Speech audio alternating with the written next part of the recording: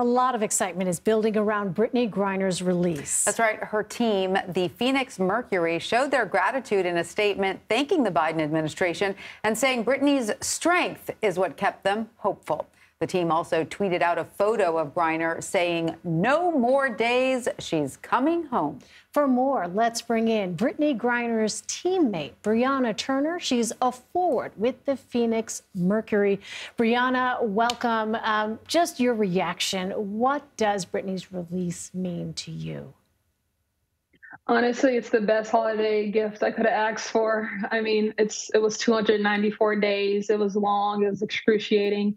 Um, but I'm happy that the U.S. government was able to secure her release. And so, Brianna, was the team at all in the loop ahead of today's prisoner swap? Did you guys have a heads up?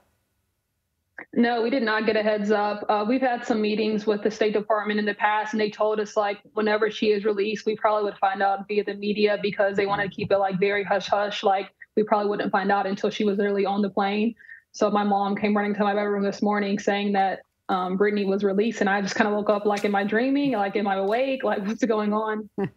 Yeah, I imagine it just must be sort of surreal um, to have this moment that you'd been hoping for arrive. I'm wondering how was the team, um, how has the team been sort of supporting Brittney and her family throughout all of this? Yeah, so the WNBA, uh, all well, we play in the summer, and so this past summer, all the courts said um, we are BG on the court, BG 42, because 42 is her number. So I think the WNBA has done a great job keeping her story alive, keeping her name alive.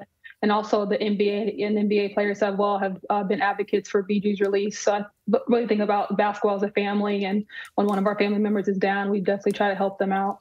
So, uh, Brianna, how do your teammates and other basketball players who travel a lot, uh, you know, feel about what happened to, you know, to Brittney? Does it give you pause about traveling to certain foreign countries going forward?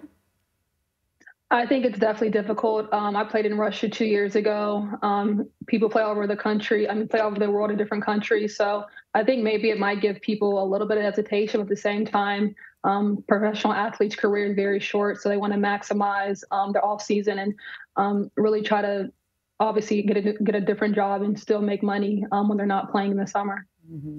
I wonder how the team is responding, Brianna, to Paul Whelan and so many others remaining in detention abroad, because it's something that we heard Brittney's wife talk about during that appearance, right, with President Biden. The fact that, you know, there are Americans like Paul Whelan who are being held.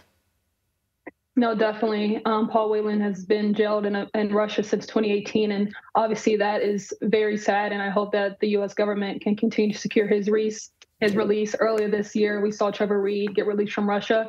So I think, obviously, I don't know all the details, but I'm hopeful that the U.S. government um, can work to get Paul out and all other detained Americans abroad. I know, obviously, know the feeling, unfortunately, what it feels like to have someone close to you in that situation. So I would encourage them to stay hopeful and, and don't lose hope for your uh, friends and family. And Brianna, any word on when your teammate may be able to rejoin practices or even games?